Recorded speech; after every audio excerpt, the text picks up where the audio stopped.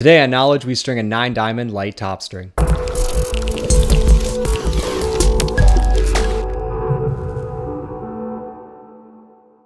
First, we'll need a piece of Throne Lite, a Lite kit, and a crosshead, which all can be found on thronelacrosse.com. There's also a link in the description. Grab your Throne Lite and remove it from the packaging via the bottom flap. Unfold the mesh and horizontally stretch the side without the tag. Once stretched, fold it along the first 9 diamond row with the smooth side touching in. Continue across the mesh until you have something like this. Next, open your Lite kit and remove the contents. Grab the sidewall bundle consisting of three sidewalls and one throat string. Take one sidewall out from the bundle and tie a standard hitch knot on one end, about 4 fingers from the tip. Install this string into the top sidewall hole on the head, grab your mesh and insert the string in the first diamond on the folded 9 diamond row.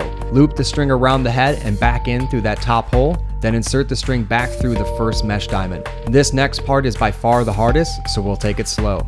Insert the string into the left folded diamond from the back to the front. Then insert it into the first scoop hole from the front to the back, placing it into the loop you made on the back. Pull tight. Now repeat this process in reverse. Insert the string into the first scoop hole from the back to the front, then insert the string into the right folded diamond, and place it into the loop on the back, and pull tight. You have made your first scoop knot. Repeat this process on the five remaining scoop holes. Insert the string into the left folded diamond from the back to the front, then insert it into the first scoop hole from the front to the back. Place it into the loop in the back and pull it tight.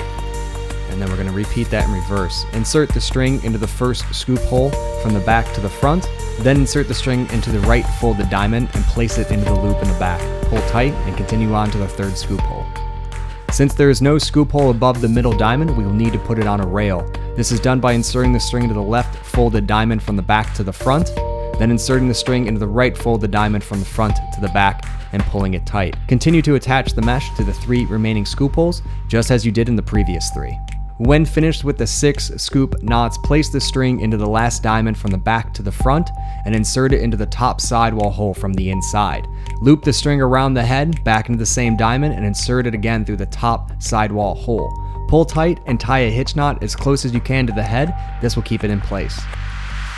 Congratulations, you have now strung the Lite top string. This top string is a great base for any style pocket because it pulls the mesh evenly across the scoop and keeps it tight for consistency. If you enjoyed this episode of Knowledge, please leave a like. In the comments below, let us know what you would like to see in an upcoming episode.